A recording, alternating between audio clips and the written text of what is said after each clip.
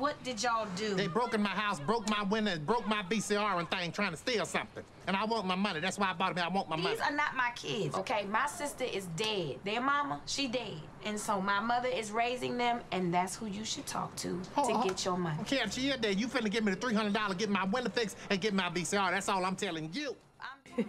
It was so, I was so harsh.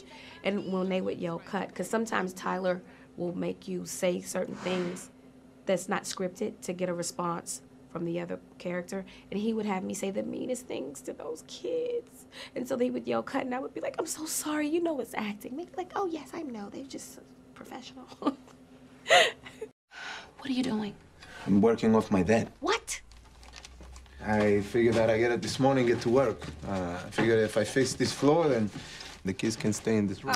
You know, I love kids, and I was like, oh, this would be a great opportunity to be on screen and have a fun relationship with these kids that, that are such a pivotal part of the story, and you know, and then get to have this romance with Taraji. That was uh, that was probably the part I liked the best, actually. You gotta care about somebody other than yourself. You don't know me, man. You don't. Oh, I know you. No, you That's don't. the problem, Tanya, look. I, look.